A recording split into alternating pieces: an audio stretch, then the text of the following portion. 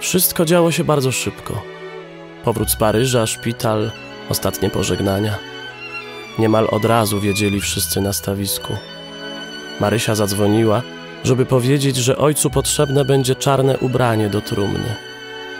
Poprzedniego wieczoru Jarosław zdążył jeszcze nabazgrać na małej karteczce, bardzo już nieczytelnym pismem, ostatnie dyspozycje i przekazać je rodzinie. Prosił, żeby pamiętali o koszuli i butach.